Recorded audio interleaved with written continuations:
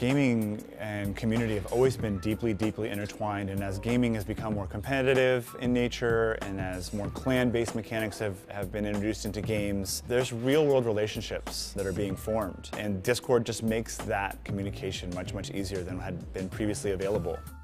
Slack and Skype are examples of popular platforms that allow for casual and professional conversation through text, video, and voice. But there's another chat platform that has become increasingly popular with gamers. It's called Discord. It's a free chat app designed for gamers to connect, both when they're playing games and when they're not. A modest concept, so it would seem. But the company is valued at over $2 billion and has more daily users than Slack. It's almost like those uh, poker games that maybe your grandfather played or those bridge matches that your grandmother played. They'll organize something on a Saturday, sit around the table, and talk about everything, including the game they're playing. Modern gamers do that as well. They just happen to do it from their living rooms or in front of their computers. Discord launched in May of 2015 and has been rapidly growing ever since, tripling its user base in 2018. Now, Discord has roughly 250 million users and 14 million daily active users. Compare that to Slack, which has just 10 million daily active users, and you'll begin to realize just how huge the gaming community is. The size of the global video gaming industry was $96 billion in 2018, and the industry has become one of the fastest growing segments in the global media and entertainment market. As a gamer himself, CEO Jason Citron saw an opportunity.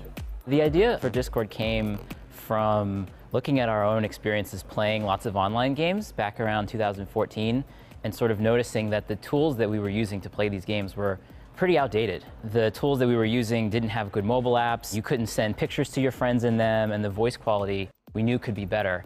And so what we really did was create an all-in-one voice, video, and text chat app that replaced this constellation of tools that people would use.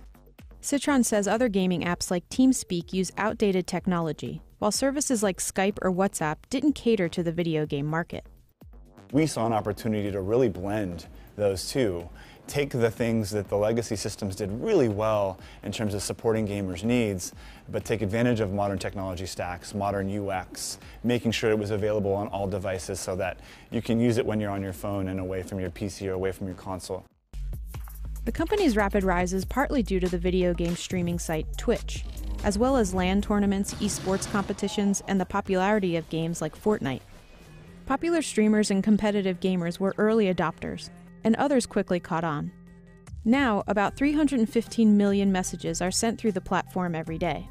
Discord's growth has been meteoric. None of their competitors, gaming specific competitors, have sort of been able to scale with them or grow over time. And now it's 2019, even three and a half, four years later, a lot of their competitors still don't have features that they rolled out in their first year.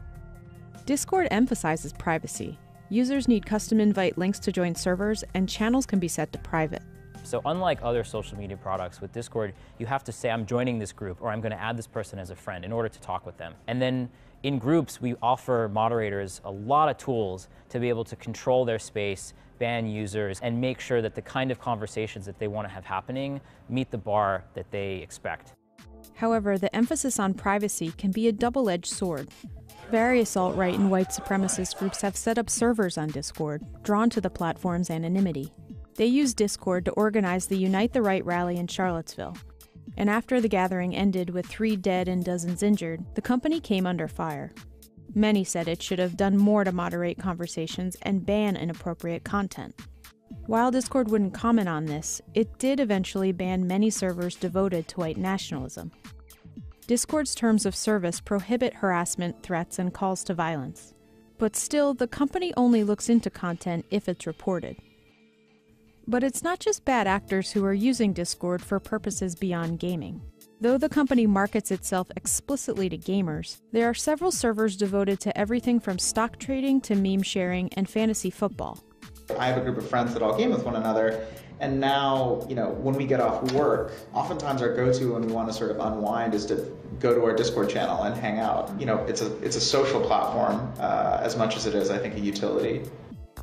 The company has raised about $280 million in funding, and it's gaining users around the world at a rate of 2.5 million people per week. We're a truly global product. You know, gaming culture is, is one of the few kinds of, of things that people do that actually cuts across all cultures in the world. And so you can play, you know, League of Legends and connect around League of Legends with someone basically no matter where they are. Discord generates revenue through its games marketplace and premium subscriptions. The game store launched in October of last year, and Discord takes a 10% cut of all purchases. As for the subscription service, there are two levels. This gives users access to additional features, higher upload limits, and free games. Discord hopes these offerings will eventually help it turn a profit. But it's in no rush. The company closed its seventh funding round in December, netting $150 million. All of this for an app where gamers can chat? Citron isn't surprised. Gaming helped me spend time and build relationships with the people that I cared about, and that's what Discord brings to everyone in the gaming community.